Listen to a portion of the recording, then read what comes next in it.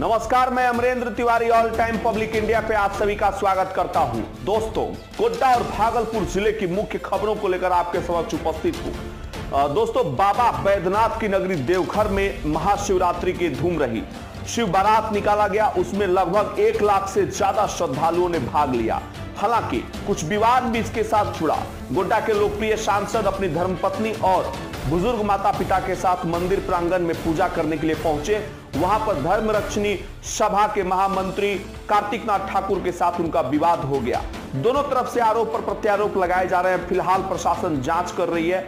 और ये पूरा मामला जो है नगर थाने में दर्ज कराया गया। उनके अंगरक्षक के द्वारा शिकायत की गई है। लिखित शिकायत में ये कहा गया है कि 12 साढ़े बारह के करीब पूजा कराने के दरमियान जो है धर्म रक्षणी सभा के जो महामंत्री हैं, उनके और उनके समर्थकों ने निशिकांत दुबे जी के गले से 1.20 लाख की चैन को छीन लिया, उनके साथ अशोभनीय व्यवहार किया अमर्यादित भाषाओं का भी इस्तेमाल किया।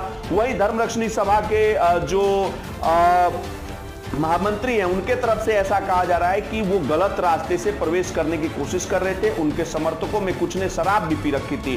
फ़िलहाल मामले की जाँच पुलिस कर रही है और जो आरोप और प्रत्यारोप लग रहे हैं, इसमें कुछ ठोस निष्कर्ष पुलिस की तरफ़ से निकाला जाएगा और ये देखने वाली बात होगी कि इसमें क्या होता है आगे। पल पल की अपडेट आपको देते रहेंगे। बढ़ते हैं अगली खबर की ओर। गोड्डा के हटिया के पास जो है रात महाशिवरात्रि की रात आलू और प्याज के गोदाम में भीषण आग लग गई। दमकल की गाड़ियाँ जो है मौके पर पहुंचकर आग को काबू पाने में जो है उन्हें सफलता प्राप्त की। आग को फ़िलहाल काबू कर दिया गया। हालाँकि आग कैसे लगी? ये जो है, अभी तक बात सामने नहीं आ रही है। गोदाम के मालिक का कहना है कि आग जो है, बिज़नेस के प्रतिद्वंदता में लगी है। फ़िलहाल जाँच जारी है। जो भी जाँच रिपोर्ट आएगी, वो आप तक हम शेयर करेंगे।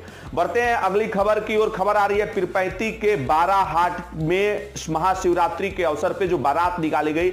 आप देख सकते हैं किस तरीके से भव्य बारात यहाँ पर निकाली गई है। लोग जश्न में डूबे हुए हैं। भोलेनाथ की पूजा कहते हैं कि भगवान भोलेनाथ बहुत भोले हैं, कोई अनायास भी पूजा करता है तो उनको बहुत ही ज़्यादा फल अपने भक्तों को भगवान भोलेनाथ देते रहते हैं। तो ये आप देख सकते हैं बैकग्राउंड में कितनी भव्य कलश भव्य जो है बारात यहाँ पर निकाल, निकाली गई है। श्रद्धालु जो है काफ़ी खुश नज़र आ रहे हैं। बढ़ते हैं अगली खबर की ओर। खबर आ रही है पूर्व सांसद भागलपुर के सैयद शाहनवाज हुसैन से रिलेटेड।